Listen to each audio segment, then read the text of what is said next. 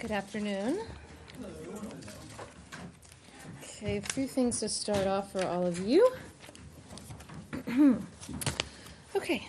Over the last few days, U.S. Agency for International Development Administrator Mark Green has been traveling to the Democratic Republic of the Congo, Rwanda, and Somalia. In the Democratic Republic of the Congo, the administrator met with healthcare workers at an Ebola treatment unit, community and local leaders, and response groups working to stop the spread of the disease. In Rwanda, the administrator visited Kigali on June 16th. The uh, Administrator Green visited the Kigali Genocide Memorial, paying respect to those who perished more than 25 years ago. He also met with President Kagame to discuss Rwanda's journey to self reliance and to promote continued collaboration. Lastly, in Somalia today, Administrator Green visited Mogadishu, where he announced the reopening of a USAID mission to Somalia to expand the agency's partnership with the country. The reestablishment of USAID mission in Somalia, after closing 28 years ago, demonstrates USAID's commitment to helping the Somali people on their journey to self-reliance. The administrator also announced 185 million in humanitarian assistance for the people of Somalia to address life-threatening food insecurity. Next, I have a quick update for you on U.S. foreign assistance to the Northern Triangle countries of El Salvador, Guatemala, and Honduras. As you know, in March, the President concluded these countries have not effectively prevented illegal migrants from coming to the United States. At the Secretary's instruction, we continue to implement the President's direction regarding foreign assistance for El Salvador, Guatemala, and Honduras. We completed a review and previously awarded grants and contracts will continue with current funding. State Department assistance in support of priorities of the Departments of Justice and Homeland Security priorities to help the Northern Triangle governments take actions that will protect the U.S. border and counter uh, transnational organized crime will also continue. We will not provide new funds for programs in those countries until we are satisfied the Northern Triangle governments are taking concrete actions to reduce the number of illegal migrants coming to the U.S. border. Working with Congress, we will reprogram those funds to other priorities as appropriate.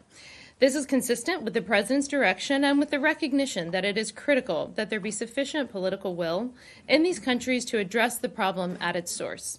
As Secretary Pompeo has said, these nations have the responsibility to take care of the immigration problems in their home country. Okay, and one more. Uh, tomorrow, Tuesday, June 18th, 2019, Secretary Pompeo will visit United States Central Command and the United States Special Operations Command at MacDill Air Force Base in Tampa, Florida. There, he will meet with General uh, Kenneth McKenzie, Commander of Central Command, and General Richard Clarke, Commander of Special Operations Command, to discuss regional security concerns and ongoing operations. Um, and I will be headed out with the secretary, um, so I apologize, but this briefing will be a little bit shorter uh, than normal since um, the airplane doesn't wait on me. No. tomorrow, He, the meetings are tomorrow.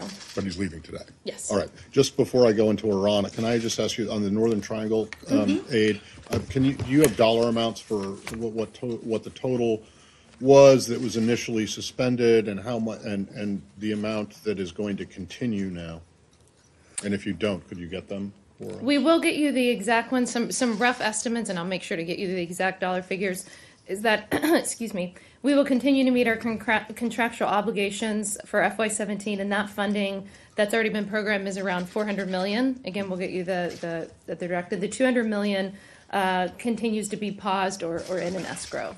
And, and from sorry, the 17. four hundred million is both the stuff that have been previously awarded and the, there was some stuff that you said will continue.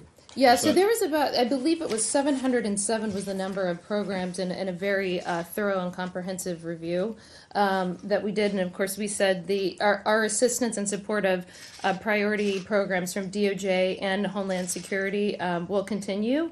Um, and uh, so we'll, we'll get you the exact figures, but those are rough estimates of where we are with FY17. Sorry, seven oh seven was what? Okay, so 707 is the Was number of DOJ programs and activities, no, writ large. Total. Writ large, Four right. hundred million of which will continue. In the very extensive review, exactly. and that's an approximate number, obviously. Fair enough, but it sounds like, you know, more than half is gonna continue to go, right? Anyway. From um, FY17, Yeah. yeah.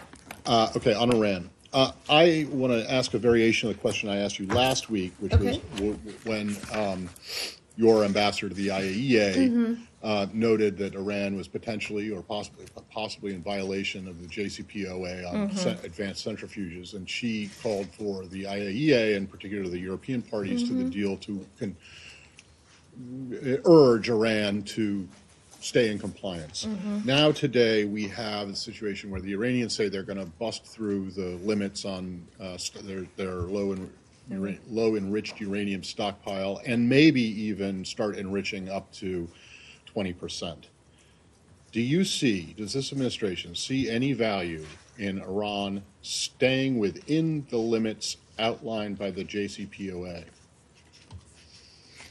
So I would say that we are unfortunately not surprised by the Iranian announcement, as we've talked quite a bit from this podium. Uh, this is a pattern of 40 years of behavior. It's consistent with how the Iranian regime uh, behaves. They did this when we were in the JCPOA, right? They continued to build their missile program. We relieved sanctions. They took American sailors hostage. Um, we have seen no moderating behavior uh, by this regime, and in fact, you know what we're seeing here, uh, of course, over the over the past week um, is uh, constantly threatening to uh, close the Strait of Hormuz. Um, a number of activities, not just the two commercial shipping vessels that we discussed this week, but four other commercial ships. Um, uh, you know, so I think what we're seeing here is, is really a, a- challenge, not only in the JCPOA, but really a challenge to the international norms on how a country behaves, a challenge to the international norms on uh, freedom of navigation and freedom of the seas. Um, and so we, you know, would, would say to the international community that we should not yield to nuclear extortion by the Iranian regime. Okay, I just want to focus on the nuclear deal, the JCPOA, and no- nothing else, Okay. just that.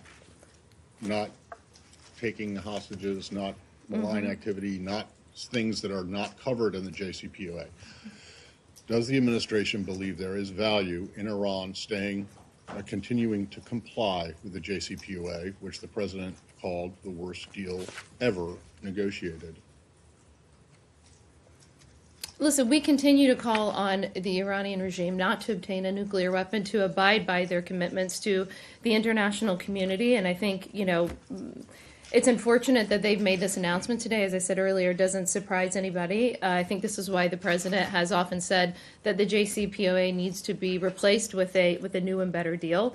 Um, Iran, as evident by their announcement today, but also their pattern of behavior over the past few years, uh, is keen on expanding, uh, or seems to be keen on expanding their nuclear program, um, and it now wants to exceed these nuclear limits uh, in advance of these so-called sunset clauses. But clauses. that suggests that you believe that there is Yeah. value in these limits, no? Does it not? I mean. We it- call look, on the if- Iranians not to obtain a nuclear weapon and to, and to abide by the commitments that they've made to the international community. Okay. Nick? Maureen, is the secretary disappointed with the response from the international community so far? You, you said we would like to say to the international community they should not yield to nuclear extortion. So has, has the administration been, been disappointed by the response, for one thing, to the attacks on, uh, last week and more broadly on, um, viewing the threat and, and the way to respond to Iran? No, not at all. I mean, in fact, I think that we have seen um, the international community and our allies um, step up to condemn this behavior. I mean, this this clearly what we're seeing in the Strait of Hormuz defies uh, the pattern, the the tenets that we all hold dear as it relates to freedom of navigation, freedom of the seas. Um, the secretary has been working, of course, credib- incredibly closely within the government uh, uh, with Secretary, Acting Secretary Shanahan on multiple times uh, working on uh, ensuring that we are defer- excuse me, able to defend our people and our interests. We're of course working on the diplomatic solution, um, while Secretary Shanahan and the team at DoD is focused on our military options to keep our people, our interests, and our allies safe. Over the weekend, as as almost every weekend with the secretary, is probably the hard work most hardworking person I've ever worked for.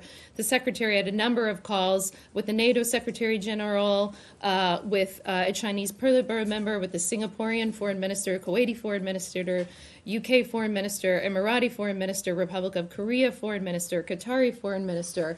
Um, we obviously don't have readouts from every single call uh, that that he has, but uh, we have we have worked incredibly hard uh, with um, our allies uh, on this assessment um, as it relates to Iran's actions last week in the just, Gulf a- of just a quick follow-up to that. I'm going to mispronounce the name, so I'll get it to you. So What the title? The position, yeah. I it's a hear. Pol- Politburo member.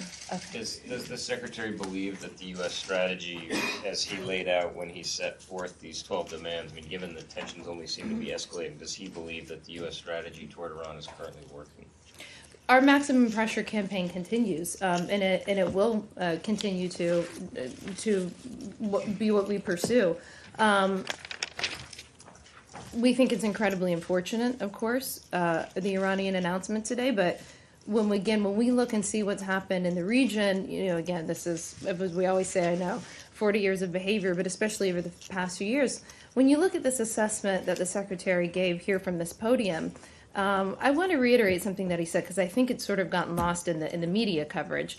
You know, he said our assessment is based on the intelligence, the weapons used, levels of expertise needed to execute the operation, recent similar Iranian attacks on shipping, and of course the fact that no proxy group in the area has the resources and proficiency to act with this high degree of sophistication. So we will continue to uh, work with our allies uh, and work with our international partners who would like to help us deter this Iranian behavior, who would like to help us get them back to the negotiating table, who would like to help us uh, get them to behave like a normal nation. That's the whole goal here. Our demands are not high. Our demands are that they stop terrorizing the region. Thank you. Just to follow on Matt's question, so while there is no new deal uh, between the US and Iran, you ask Iran to abide by the JCPOA even though you left, the US left this deal? When you say you have to abide to their international commitments, you mean to abide to the JCPOA which the US left? Yeah, we uh, have made it very clear since this president came into office and since the secretary came here that we will not tolerate uh, Iran obtaining a nuclear weapon, full stop. So any actions that they take to get a nuclear weapon will be countered by a maximum pressure campaign by the United States government that continues to this day. There should be no relieving of sanctions for their malign and unacceptable behavior. Rich? Finally, Rich, you showed up. I know. Finally got the directions. um, the uh, secretary yesterday, last week, when he was uh, discussing this, he used the phrase that Iran was lashing out. Um, in the calculation, when the administration decided a year ago to withdraw from the nuclear agreement, did it anticipate or expect that there would be a greater level of this lashing out as a result of the U.S. withdrawal? Well, I think that uh, the United States and the Secretary and this administration in general uh, were well aware of the pattern of behavior um, from the Iranian regime. Anybody who's studied them more than a hot minute, who have looked at them for the past 40 years, knows how they will behave. Um, I would love for someone to give me an example of some sort of moderating behavior that the Iranian regime uh, pursued post JCPOA. Uh, I have no evidence of that. I have evidence of them taking uh, U.S. sailors as hostages. I have evidence of the IRGC having millions, if not billions, of dollars to fund terrorism around the world, to fund Houthis, who we saw uh, hit yet another airport in Saudi Arabia where American civilians go through. All of you just saw that report. There's been no moderation. They continue to terrorize. Sure, Saeed. Yeah, thank you. Very quickly, I know I asked you last week about Ambassador Friedman, and you stated. you sta- No, I know. I called on Saeed and he can finish. And I'm going to have to go in a If few you want minutes. to stay You can on finish, topic, Saeed. Okay, thank you, Morgan. Uh, Very quickly, you- yesterday, or not, last week, you said that uh, what Mr. Friedman said was not U.S. policy. U.S. policy towards annexation. I said that our policy clear. on the West Bank hasn't On the changed. West Bank and Gaza Yes. annexation is very clear. But yesterday, the chief negotiator or the envoy, chief envoy, Mm-hmm. uh, Mr. Jason Greenblatt, said exactly the same thing. I mean, uh, you know, apparently they did not listen to your statement last week or the position, or did not take into consideration the position of this building historically. So do you have any response to that? He said exactly the same thing. He said that he basically supports what Mr. Friedman said. I didn't. I read Jason's uh, comments and I didn't take it the way that you just characterized. But I will reiterate that there is no plan for uh, an annexation by Israel of the West Bank um, that they have presented to us, nor is it under discussion. Um, so I'm not going to comment on hypotheticals if and when their government pursues anything independent to us. We'll be happy to have a have a comment. Sure. Two, I have two, two questions, one on uh, Iran and one on Egypt. Okay. Uh, Iran said today that it had exposed a large uh, cyber espionage network Mm-hmm. uh, run by the US, uh, C- by the CIA. Do you have any anything on this? I don't. Thank and you. We on the death comment of on that. Mm-hmm. uh, former Egyptian President uh, Mohammed Morsi, do you have anything? No, uh, we saw we saw that the the death was reported. We're gonna- so Iran, understand. guys? BBC. Just to, to go back to Iran briefly, have you been speaking to Congress about the oil tanker attacks, and in particular using that as an argument to get lawmakers to back down on their attempts to block the arms sales to Saudi Arabia because they were still quite determined to try after the briefing last week?